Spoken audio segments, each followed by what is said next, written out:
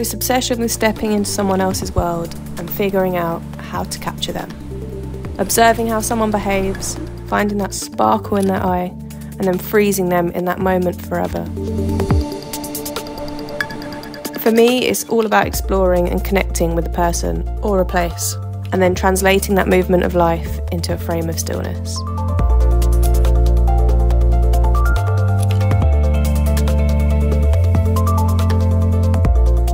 Shooting on film is just so special because it demands 100% all in engagement and trust with the subject. When I have a film camera in my hands, there's nothing in between me and who I am photographing.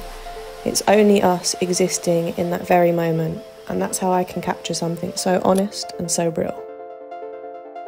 To share such an intimate moment is almost a rare feeling to experience these days with so many distractions in life getting in the way at all times.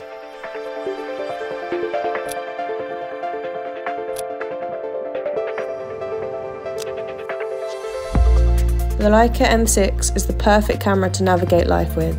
Travelling is when I am most inspired, when everything feels so new and magical and all the senses really come to life.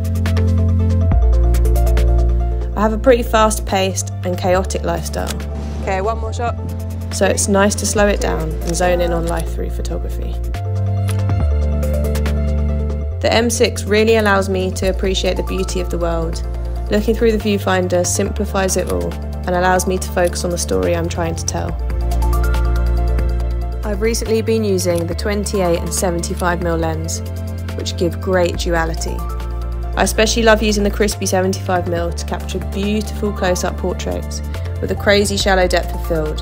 Okay, three, two, one. There's so much feeling and emotion captured in the image and in the process of making it. Portraiture is an incredible universal language that can connect anyone, anywhere. Everything goes back to being human, the experience and the connection we all share.